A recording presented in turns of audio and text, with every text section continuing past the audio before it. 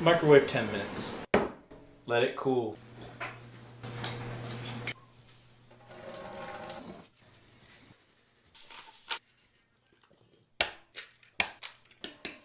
Fridge cheese.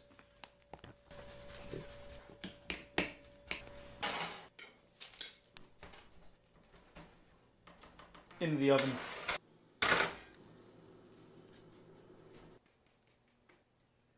Under the broiler.